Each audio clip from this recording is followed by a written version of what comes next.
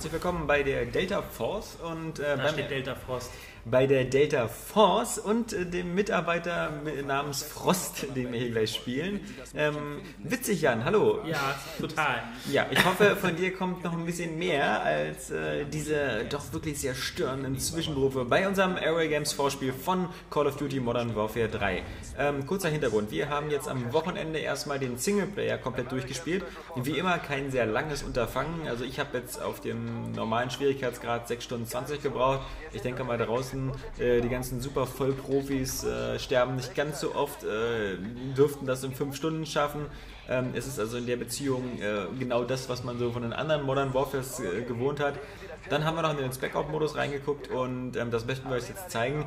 Äh, Multiplayer konnten wir noch nicht so richtig äh, testen, weil da die Server noch nicht ganz so funktionieren, was auch kein Wunder ist, denn offiziell kommt es ja erst morgen raus. So, und äh, als Berliner Redaktion, die wir von Airway Games nun mal sind, ähm, was liegt da näher als, äh, als Präsentationslevel natürlich den Abschnitt von Call of Duty Modern Warfare 3 zu nehmen, der Berlin spielt. Und man muss sagen, äh, wenn man jetzt hier gerade so rumkriecht, äh, man erkennt es nicht direkt wieder, oder? Also nee, also sieht einfach wie irgendeine Stadt aus und Sieht ein bisschen aus wie ein Teil von Transformers 3, wo ein Haus zerstört wird. Aber ähm, wie immer äh, in dieser Mission, was ich auch immer hasse in Filmen oder überhaupt irgendwas, ist immer dieses so Zeitspringer, 20 Minuten vorher. Und wir sehen, wir äh, fliegen jetzt hier mit Hubschraubern ein in Berlin. Ähm, nun sind wir selber, also du bist ja zugezogener Berliner, ich wohne hier schon seit über 30 Jahren. Ich muss sagen, ähm, ja, teilweise so Skyline-mäßig, äh, das soll hier wohl die Spree sein. Ähm, das ist teilweise aber wirklich, muss man sagen, nur nicht besonders liebens, lebensnah detailliert nachgebaut worden. Na, wie immer ähm, sind ja auch alle Marken und sonst was, sind alles irgendwelche Fantasienamen. Also es geht zum Beispiel darum in dieser Mission, dass wir äh, die Tochter des russischen Präsidenten befreien und äh, die befindet sich im Hotel Reisdorf. Ähm, ich kann dir eins versichern, äh, wenn man das jetzt im Telefonbuch sucht, es gibt kein Hotel Reisdorf in Berlin. Ähm, das sind alles so eine künstlerische Namen. Äh, man muss sagen, die, die Story von Modern Warfare 3 bringt eigentlich äh, diese ganze Dritte Weltkriegsgeschichte jetzt zu einem Abschluss. Also wer äh, da, ähm, genau, wer da ein bisschen beunruhigt ist, ähm, der kann jetzt endlich aufatmen.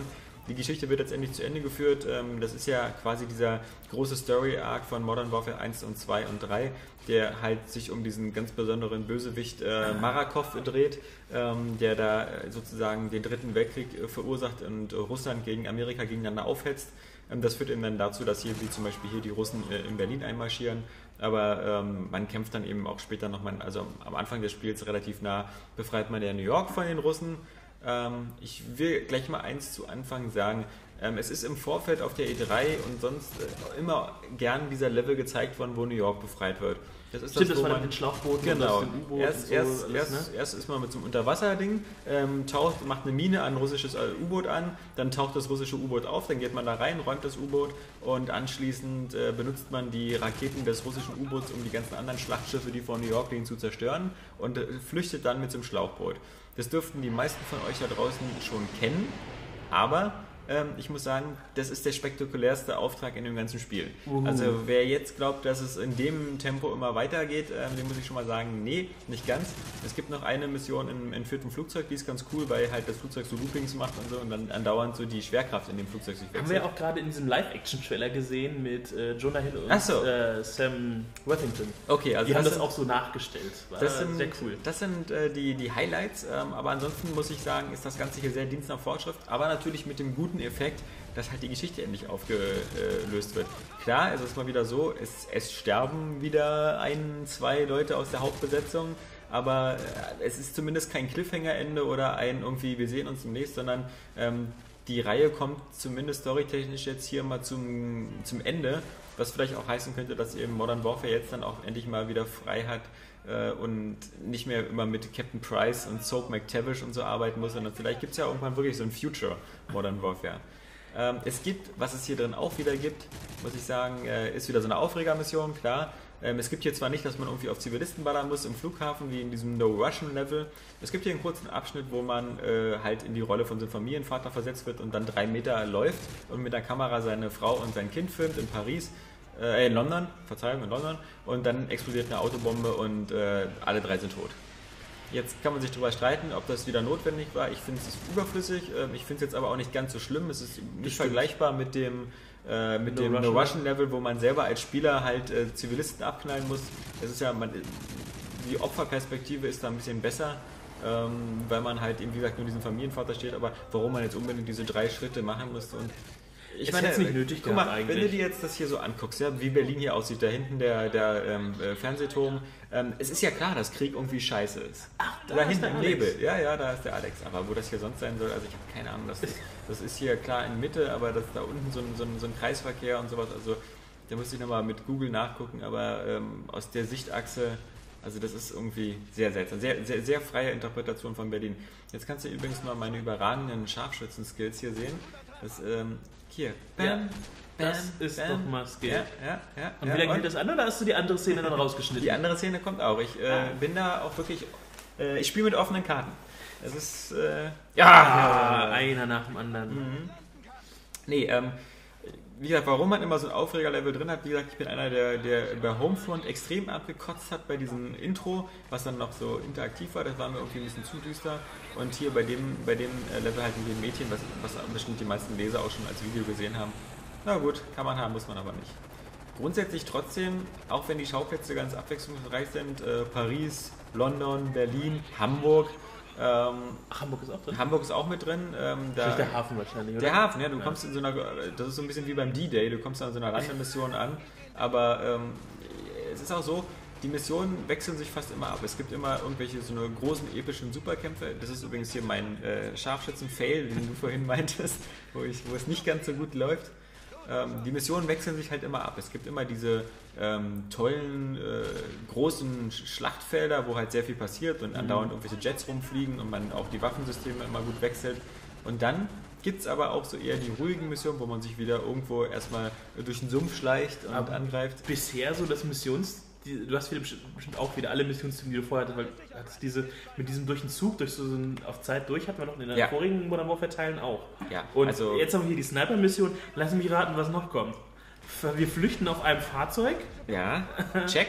Okay, dann sicherlich irgendwas mit Flugzeugen oder Helikoptern. Äh, check. Also äh, das ist auch so, also Helikopter, ich verstehe nicht, warum in solchen Spielen immer so oft Helikopter benutzt werden. Weil fast immer, wenn man mit einem Helikopter evakuiert werden wird, wird dir abgeschossen oder explodiert. Oder, oder also ich, ich finde, Helikopter sind in diesen Spielen das unsicherste, womit man fliegen kann. Also wir lieber im Panzer steigen als in Helikopter. Hier fordern wir so einen A10 äh, an, damit er den Panzer unten kaputt macht. Also was auch ein bisschen, du kennst ja Modern Warfare 1 und 2, was auch in dem, in der, in der, in der, in der, in der doch sehr kurzen Story-Kampagne auch so ein bisschen nervt, ist halt immer so dieses ganz oft, wir haben den Bösewicht, wir haben den Bösewicht, wir haben den, er ist entkommen. Also immer wieder dieses so, ja, Oh ja, diese, diese, diese Schlacht mit den, mit den Favelas da. Oh. ja, ja. Also ähm, so, sowas in der Art gibt es ja auch. Äh, zwei, drei Missionen spielen in äh, Afrika. Da gibt es dann so, so Missionen, die so ein bisschen an die Favelas erinnern. Aber ansonsten ist man natürlich vor allem in urbanen Gebieten drin. Jetzt könnte man natürlich sagen, ey, Aero Games, Leute, das ist jetzt ganz schön langweilig, warum sehen wir jetzt hier acht Stunden Berlin? Das ist halt immer so die Sache mit den, mit den Spoilern und so. Wir, äh, es, die ganze Singleplayer-Geschichte ist in drei Akte aufgeteilt und in jeder Akt ungefähr aus vier bis fünf Missionen, also rund ein Dutzend Missionen. Wenn man jetzt hier noch drei, vier Missionen zeigt, dann habt ihr vielleicht das ganze Spiel gesehen. Denn ihr kennt ja die, äh, die, die New York-Mission schon von der E3. Man kennt andere Sachen aus, aus Videotrailern und ähm, deswegen haben wir halt gesagt, wir zeigen hier ein bisschen Berlin und wir zeigen ein bisschen Paris und wir zeigen ein bisschen was von Spec Ops, aber den Rest muss man selber erfinden. Und Mal geht was- ja auch schnell. Geht auch schnell. Mal was zur Grafik. Ähm, Ich wollte gerade sagen, also ich finde die Grafik gut. Ich finde Sie die schick, so, so wie immer. Ja, das ist wie immer, ich wollte gerade sagen, so, also ein großer Schritt zu, äh, von Black Ops aus oder von Modern Warfare 2 her konnte ich jetzt bisher nicht so sehen, aber äh, Also ich fand Black Ops nie ganz so beeindruckend. Ähm, von Modern Warfare 2 aus, genau. Ähm, es ist halt super flüssig. Es hat wie immer wieder diese 60 Frames, ähm, was es so ein bisschen unterscheidet so von Battlefield, was Ja. finde ich nie so ganz so flüssig aussieht. Plus halt die äh, Kantenglättung, die immer aktiv ist, ähm, die halt dem Spiel halt immer so ein... das ist, ähm, wollte gerade sagen, wenn man hier da diese ähm, Zäune sieht oder diese, ähm, im Gegensatz zu Battlefield, du, ich gehe mal, kurz, ich geh mal kurz ein Abseilen. großartig. Guck mal, gut, dass das ähm, Flugzeug genau gewartet hat, bis wir runtergekommen Ja. sind. Ja, für Freunde der deutschen Wehrtechnik ähm, kommt jetzt nochmal auch ein netter Abschnitt, weil man jetzt natürlich äh, ein äh, kleines deutsches Panzerbataillon, möchte ich nicht sagen, das sind ein bisschen zu viele, irgendwie so ein Panzersquad äh, noch äh, begleiten muss, die da mit zwei, drei Leopard-Panzern ich hoffe, es sind Leopardpanzer, aber es sieht sehr danach aus. Haben Sie irgendwelche anderen? Hm, ich glaube nicht. Also ich, ich würde jedenfalls mit nichts anderem in den Krieg ziehen, außer mit Leopardpanzern, wo die doch so extrem cool sind. Ähm, aber ich glaube, wir verkaufen die auch an jeden. Also vermutlich eine Deutschlandfahne, damit man nochmal weiß, wo man ist. Ja, man hätte sonst nicht erkannt. Ja. Auch nicht mehr im guten Zustand, die Fahne, muss man sagen. Ja. Hier, nehmen wir mal eine Rakete, machen diesen russischen Panzer kaputt hier. Was ich immer erstaunlich finde, auch gerade in diesen, in diesen Leveln wie Berlin, ist ja, ähm, wie wenig sich doch eigentlich so im Grunde seit Call of Duty 1 und 2 verändert hat. Also das spielt jetzt in der jetzigen Zeit und man hat jetzige moderne Waffen, aber im Grunde also diese Machart der Mission, der, die Granatenwarnung, dieses Geh dahin, äh, schieß alle ab, diese nachspawnenden Gegner. Das ist auch fast so das Gefühl, was ich für einen Multiplayer habe. Ich meine, sie belohnen nur noch noch stärker äh, die einzelnen Kills. Also äh, wenn ich mir so die Modi, was sie bisher so äh, gesagt haben, weil demnächst hoffentlich, wenn die Server dann halt online sind, auch Bingo, spielen Abend, genau, ja. Ähm, sieht alles äh, ja, man muss auch sagen, dass sie auch bei den Maps natürlich, glaube ich, auch wieder recyceln. Also es sind wieder, äh, es sind wieder Karten von Modern Warfare 2 ich glaub, dabei. Du gerade auf deine eigenen die ganze ja, Zeit. Ja, das musstest du jetzt ja noch nicht erwähnen. Also der normale äh, Zuschauer wäre jetzt so abgelenkt von unserem Gebrabbel, dass man hier nicht gesehen hat, wer, dass, dass, ich, das dass, ich, dass ich die ganze Zeit nicht einmal gestorben bin. Ja, das natürlich erwähnst du nicht. Ja, obwohl das schon der normale Schwierigkeitsgrad ist ja nicht hier irgendwie Rekrut oder so. Das ist schon hier Soldat. Allerdings, ähm, jetzt wo wir davon sprechen, dauert es nicht mehr lange und äh, das ist nur dieser Leopard. Und äh, schwupps, ich bin tot. Was guter, guter Moment ist, äh, für einmal natürlich wieder wie immer die klugen Kriegsweisheiten und für eine Überleitung äh, zum, zum, zu demselben Level nochmal. ja, gut geschnitten, Alex. Ähm, ich muss wohl erst nochmal sterben.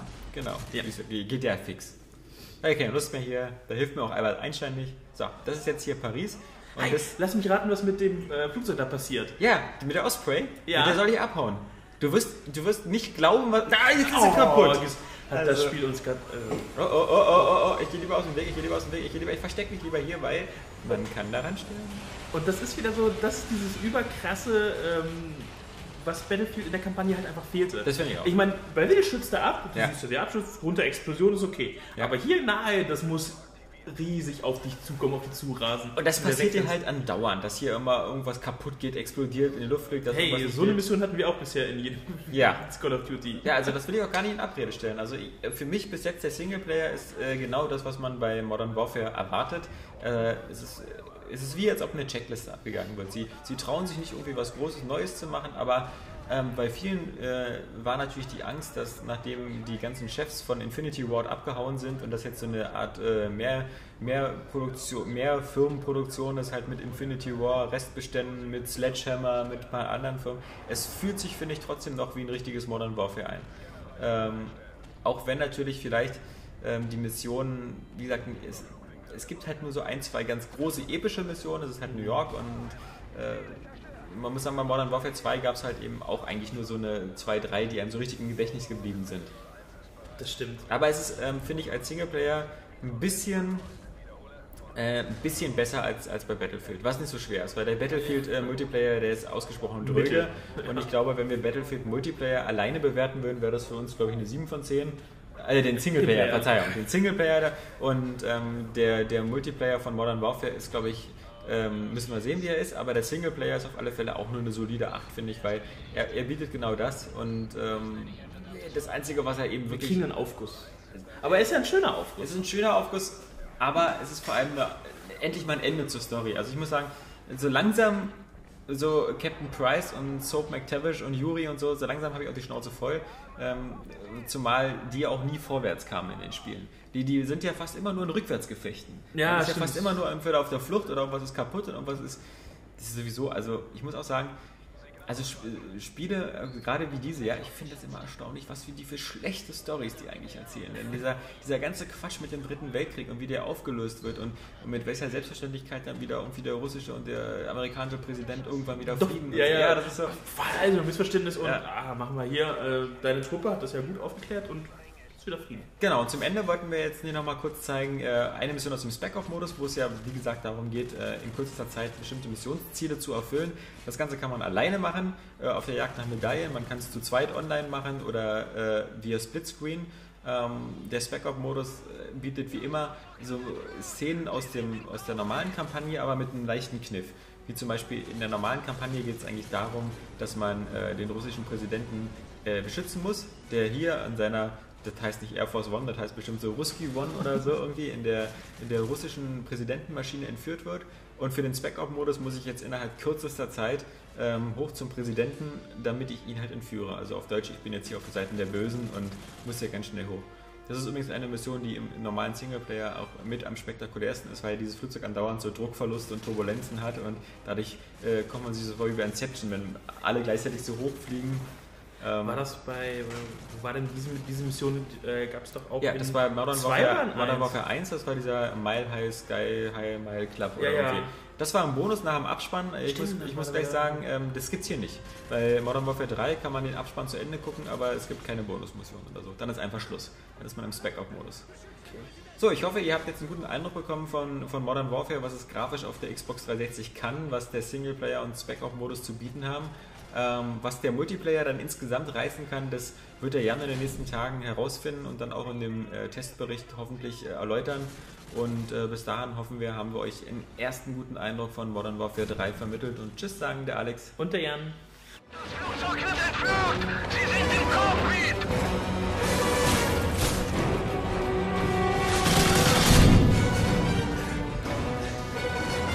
Ihr wurdet besiegt.